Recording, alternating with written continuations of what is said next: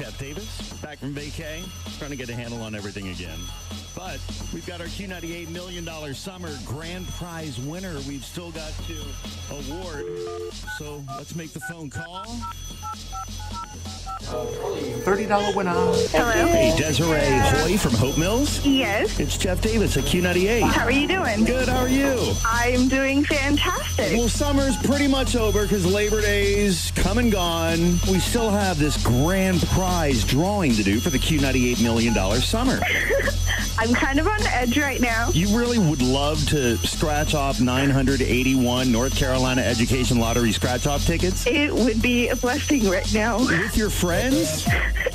Yes. What's bothering you? There's a lot of things going on right now in my life, and this would help a lot if I could be the winner and have some funds come in from that. You are the winner. Oh my God, you are getting me. Oh.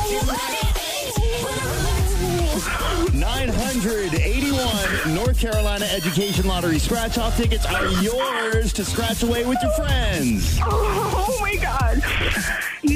You are a godsend right now. You simply listened to Q98, called in, instantly scored your eight lottery tickets from Brown's Auto World on Hope Mills Road in Fayetteville, and we drew your name at random. It must have been meant to be. Oh, Goodness. So next Saturday morning, we're going to have a scratch-off party for you with your friends at Brown's Auto World on Hope Mills Road in Fayetteville, complete with 981 lottery tickets right in front of you, and hopefully you're going to score some big cash. That is so awesome. Thank you so much for listening. Thank you. Who's your number one for music, money, and fun? Always Q98. Oh, we've got so much more.